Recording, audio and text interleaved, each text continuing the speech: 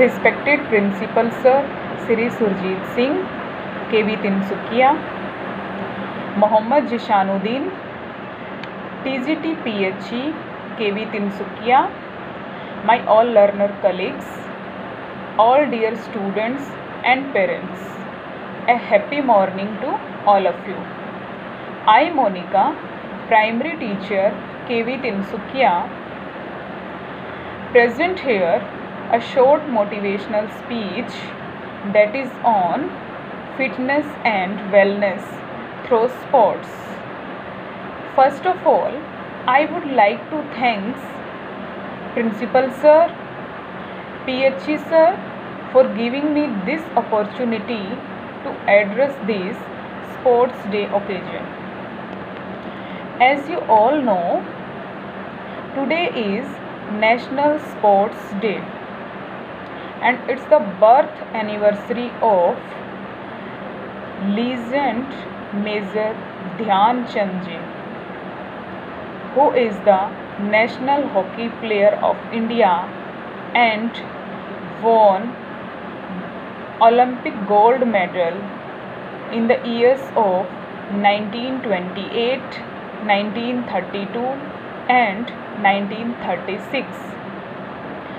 So, last year 2019 इसी दिन same day 29 अगस्त 2019 को, हमारे माननीय प्रधानमंत्री श्री नरेंद्र मोदी जी ने पूरे भारत में फिट इंडिया अभियान चलाया, जिसके अंतर्गत बच्चों की फ़िज़िकल फिटनेस पर ज़ोर दिया गया। बच्चों की ही नहीं पूरे भारत की फ़िज़िकल फिटनेस पर ज़ोर दिया गया।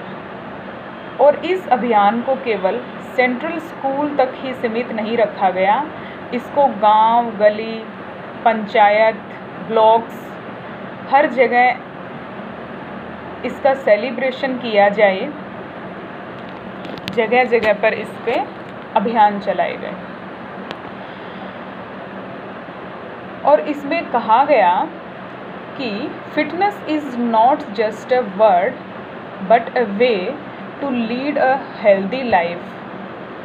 Only a fit person, fit family, and a fit society will pave way for a great and new India.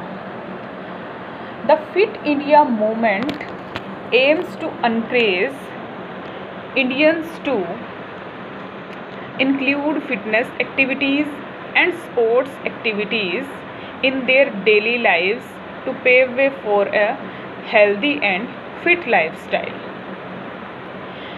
So for this fit lifestyle, we always be aware of four key health measures tool that are closely tied to several chronic diseases What is this? Four key health measures tool so first one is our body mass index bmi second one is blood pressure level cholesterol level of our body and blood sugar level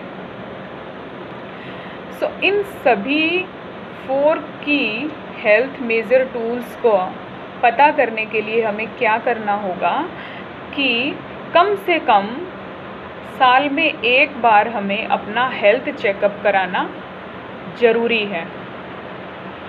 जो BMI है BMI को कैसे निकालते हैं, कैसे इसको calculate करते हैं ये स्वच्छ बच्चे, स्वस्थ भारत की जो एक्टिविटीज़ थी, उसमें सभी टीचर्स को और स्टूडेंट्स को बताया गया था कि बीएमआई को कैसे कैलकुलेट किया जाता है। सो एटलीस्ट साल में एक बार हमें अपना हेल्थ चेकअप ज़रूर कराना चाहिए, जिससे हमें टाइम टू टाइम पता चलता रहे कि हमारा जो बॉडी का फिटनेस लेवल है, वो कहाँ तक फिट है। हमें इस पर कितना काम करना चाहिए, अपनी बॉडी पर कितना वर्कआउट करना चाहिए, ये हम, सारी चीज़ें हमें हेल्थ चेकअप से पता लगेगी। तो इन सभी की पॉइंट को बैलेंस रखने के लिए और हमें क्या करना होगा? वो है फ़िज़िकल एक्सरसाइज योगा रनिंग और ज़्यादा से ज़्यादा खुद को स्पोर्ट्स में इन्वॉल्व रखना है। स्पोर्ट्स एक्टिविटी में पार्टिसिपेट करना है। क्योंकि इन सभी एक्टिविटी में इन्वॉल्व होने के लिए और इन सभी एक्टिविटी में पार्टिसिपेट करने के बाद हमारी जो विल पावर है वो स्ट्रोंग होती है। हमारा कॉन्फिडेंस लेवल इंक्रीज होता है। I know it's a pandemic year online classes is going on and so much burden of our students and as well as teachers लेकिन फिर भी हमें क्या करना है? अपनी वर्क लाइफ को और पर्सनल लाइफ को बैलेंस बना के रखना है।